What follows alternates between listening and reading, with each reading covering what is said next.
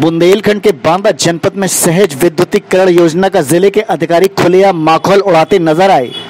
जहाँ दो वर्ष विद्युतीकरण होने के पश्चात भी आज तक उन तारों में बिजली का प्रवाह नहीं किया गया। अस्पष्टता प्रधानमंत्री की विद्युत सौभाग्य योजना का ज़िले के अधिकारी व कर्मचारी मज़ाक बनाकर रख दिए हैं और इस उदासीन बिजली विभाग के अधिकारियों की कार्यशैली पर ग्रामीण क्षेत्र के निवासी त्रस्त और परेशान नज़र आते हैं। लेकिन दो वर्ष बीत जाने के बाद भी अभी तक बिजली विभाग के कोई भी जिम्मेदार अधिकारियों के द्वारा गाँव में बिजली की अव्यवस्था को दूर करने की हिमाकत नहीं की है। क्या नाम है आपका? राजा भैया। राजा भैया। पूरा पूरा बर्मा। राजा भैया ये अलिहा गाँव है। आलिया गाँव। जैसे कि विद्युत की समस्या को लेकर के आप लोग आक्रोशित हैं। लाजमी भी है आक्रोशित होना। क्या कारण है ये? आज तक कोई विद्युत विभाग का कर्मचारी नहीं आया हाँ यहाँ? हाँ कुछ व्यवस्था नहीं है। पेड़ और जौन पड़ते हैं तो वो भी नहीं कटाया है। हाँ। और पौधे जो उन्हें कहते हैं ये पौधा है वो पौधा है तो हम हम काट नहीं सकते कैसे दूसरे का पौधा है ये? जेई और एक्सियन से इस संबंध में जानकारी दी आपने? दिया का सब देख देख चा- चले जाते हैं इसी तरह बस। अभी तक कोई कारगर कोई, कदम नहीं हाँ उठाया हाँ कोई नहीं उठाया। अच्छा इस मोहल्ले से संबंधित विद्युत आपूर्ति नहीं हो पा रही कितने लोग बाधित हैं परेशान हैं? कितनी संख्या है? अब यहाँ कम से कम पंद्रह पंद्रह आदमी से कम नहीं हाँ पंद्रह मीटर से यहाँ। पंद्रह मीटर नहीं हाँ। आबादी संख्या कितने ही? कितने लोग रह रहे हैं यहाँ जो कि प्रभावित हैं? हैं? सौ। सौ सौ लोग। सौ सवा सौ लोग। हाँ सौ लोग। लेकिन विद्युत विभाग अभी तक जो है अच्छा। क्या नाम है आपका? माता दिन वर्मा। माता दीन जी ये कौन सा गाँव है? है। अलीहा। क्या समस्या क्या है? समस्या क्या बताएँ कि मतलब सब लोग बेचैन हैं। किस वजह से? क्या कारण है? इस इस वजह से बेचैन हैं। कि देखिए वो जो अंदर की लाइट वो भी मतलब मर चुकी है और यहाँ की जो सप्लाई होना था वो भी अभी तक कम से कम एक साल हो गए। ये ट्रांसफार्मर केवल रखा है इसमें कनेक्शन क्यों नहीं किया गया? नहीं किया गया सरकार कई बार आए वो लोग मतलब हम उनसे बातचीत भी किया नहीं वो करते तो अब क्या करें अब आपके यहाँ तक मर्ज़ी है अग- आ- आप अगर कोशिश करते हो सकता है। विद्युत विभाग के अधिकारियों से इसकी जानकारी दी गई? वो लोग आते रहे हम तो लोग नहीं गए। हाँ।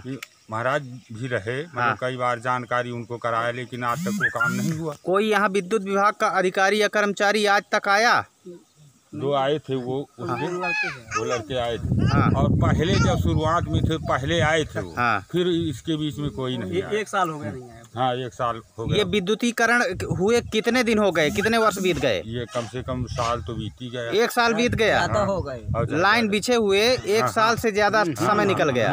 आज तक इस पे जो है हाँ, विद्युत करंट नहीं दौड़ पाया। कोई नहीं कुछ नहीं। काफ़ी अव्यवस्थाएँ होती होंगी। हाँ अब अव्यवस्थाएँ तो अब क्या बताएँ कि तुमसे हम कैसे रहते? तेल भी नहीं मिलता है तेल भी नहीं मिलता सरकार तो अंधेरी। और विभाग के द्वारा बिजली सप्लाई न होने के बावजूद भी दो वर्ष पहले ही विद्युत मीटर भी लोगों के घरों में टांग दिए गए थे जो कि वर्तमान में धूल फाकते नज़र आ रहे हैं। उत्तर प्रदेश के जनपद बांदा में बिलाक बबेरू क्षेत्र के ग्राम पंचायत अलिहा का नज़ारा है, जहाँ विद्युत विभाग के अफसरान भारत के प्रधानमंत्री के द्वारा हर गाँव, हर शहर को रोशन करने के उद्देश्य से चलाई गई पंडित दीनदयाल उपाध्याय विद्युतीकरण योजना, सौभाग्य योजना को ज़िले के अधिकारी पलीता लगाते नज़र आए, जहाँ गाँव में दो वर्ष पहले ही बिजली के खंभे गाड़कर वायर बिछा दिया गया था।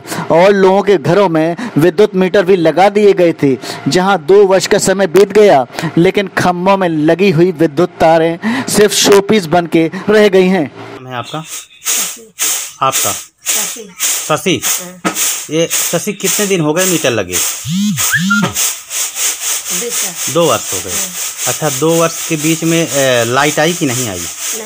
नहीं आई। जब से मीटर लगा तब से लाइट आई ही नहीं। कोई विद्युत विभाग का कर्मचारी आया? नहीं आया। आप लोगों ने शिकायत की? नहीं नहीं की। तो कैसे काम चलता होगा अंधेरे में? दिक्कत तो आती होगी। हाँ, मट्टी के तेल तक नहीं मिलत कोटा नहीं मिलता। नहीं। तो कैसे काम चलता है? हैं? हाँ? मीठा तेल से। जला कड़ू तेल से दीपक जलाती हैं। अच्छा। लेकिन कोई आता नहीं है यहाँ। जहाँ पर सारी लाइन खींची जा चुकी है, ट्रांसफार्मर लगे हैं, मीटर तक भी लोगों घरों में लग गए हैं, लेकिन वहाँ विद्युत की सप्लाई चालू नहीं हुई क्या अभी सुबह मामला संज्ञान में आया कि वहाँ पे मीटर चालू नहीं है, क्योंकि हमारे इधर बाना जनपद में टाटा प्रोजेक्ट लिमिटेड काम कर रही है। अभी हम उसको संज्ञान में लेके उन्हें भेजा भेजा हुआ है जेई को वहाँ पे संबंधित अरविंदा गए वहाँ पे, जो भी होगा उस पर कार्रवाई होगी।